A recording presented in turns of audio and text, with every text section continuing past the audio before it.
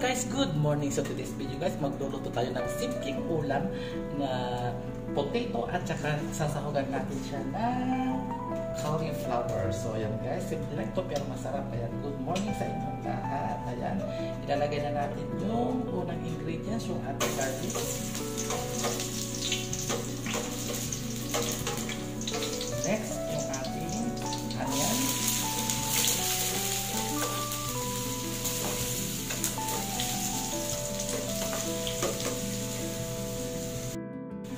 Yan guys, medyo brownish na yung ating ingredients. Ilalagay na natin yung ating kinat na potato.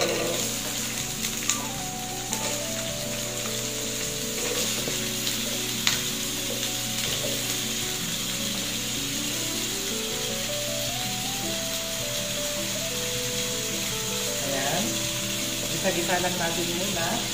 Then, bago natin ilagay itong ating cauliflower at hapok lang dito yung para masarap.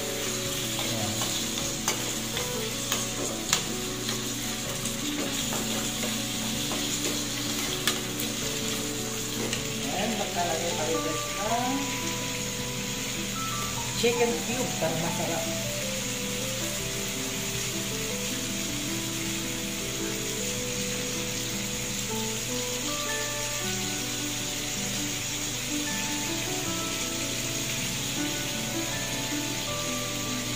Then, mag-a-add tayo guys ng chili powder.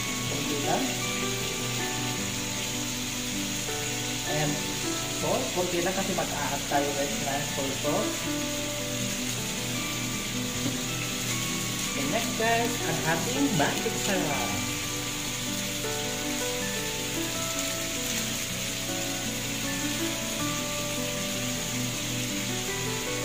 Then, haluin natin guys. para ma-mix yung ating.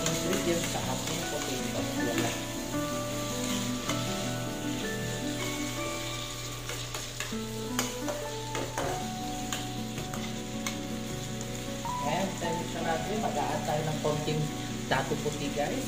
Pang ano lang natin, konti lang, pang kulay lang natin. Oyster sauce sana pero wala akong oyster sauce. Pero okay na itong soy sauce guys. Kung dato puti agad. So ayan, takpan natin guys. Lutuhin natin siya within